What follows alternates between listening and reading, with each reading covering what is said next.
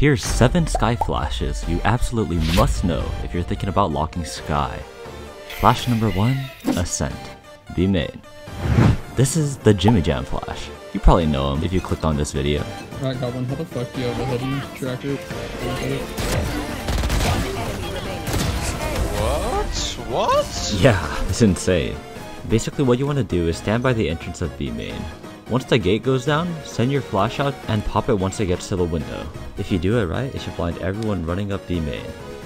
And this flash is even better post nerf because you pop it right after this line. Flash number 2, Bind, Hookah.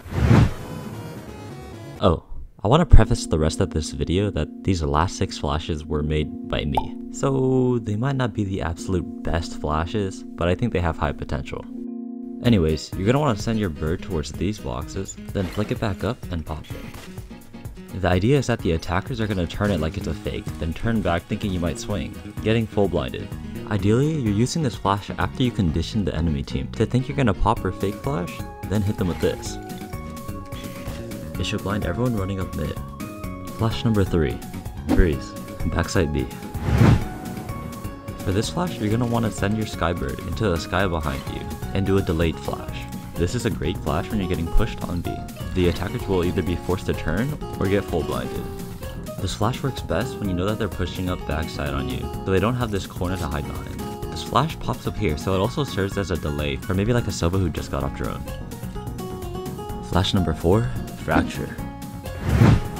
Now this isn't just one flash. I think Fracture is very good as an info gathering agent. If you're playing against hard defaulters, Skye is your best friend in finding where they might not be.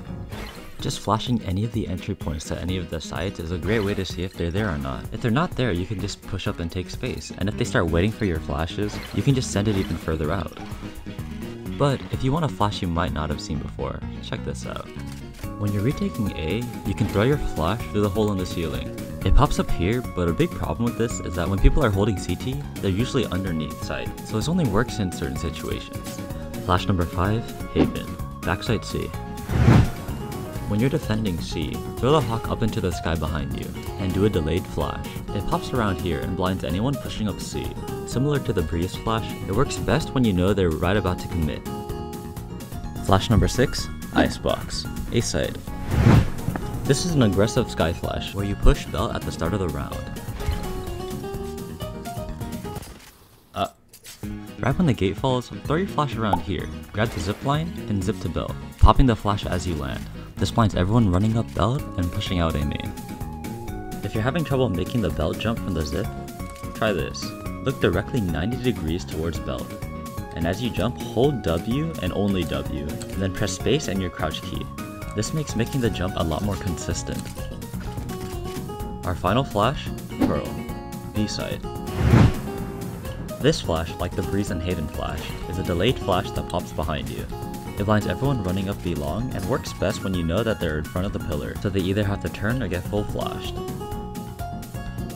Thanks for watching, and let me know in the comments if you enjoyed and if this helped you. If you want more of these types of videos, don't forget to subscribe and check out this video if you want to see a creative flash that might throw your opponents off.